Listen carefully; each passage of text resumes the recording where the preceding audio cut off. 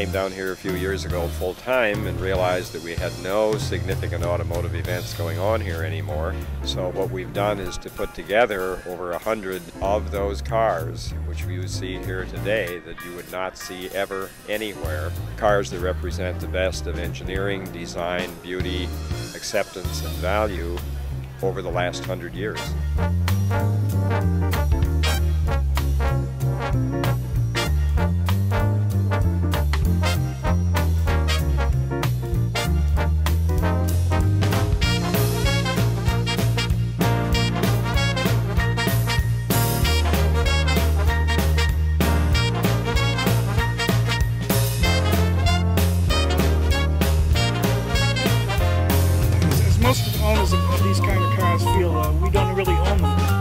Kind of caretakers. You know? I really, I really feel that way.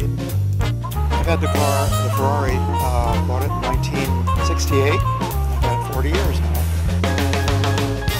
Beautiful car, gets better looking as it goes on in age.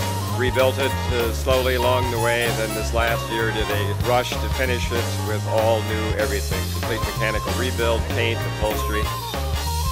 But they only made five that were like this. This is the first of the cars that were built primarily as a race car. It was ordered uh, on paper by a very, very famous Italian lady named Isabella Quarantati Ippolito. And at the time, she was on her second marriage, and she was married to an Englishman, expatriate.